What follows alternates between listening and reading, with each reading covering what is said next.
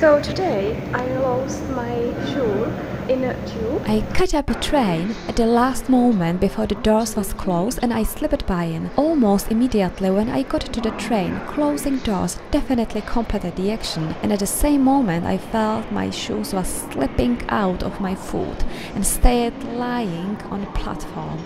The train left the station with a scary expression in my face.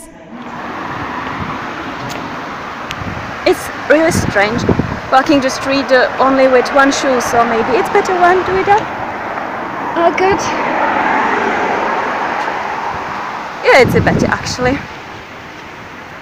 That's way how looks my legs actually after after my way without shoes. That means that the London is not so dirty, dirty than how some people say.